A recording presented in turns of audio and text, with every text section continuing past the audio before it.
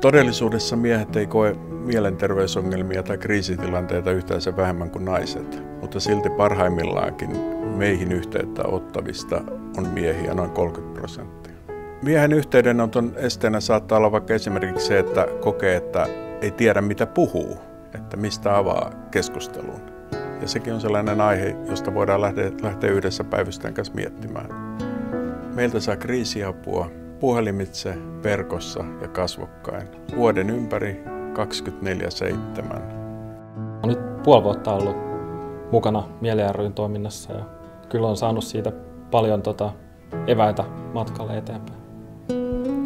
Mieli ammattilaiset osas luoda tällaisen luottamuksellisen ympäristön, missä oli helppo vaihtaa ajatuksia ja keskustella niistä omista kokemuksista. Oman kokemuksen perusteella kannattaa olla yhteyksissä pienissäkin asioissa. Jo yksikin keskustelu voi auttaa.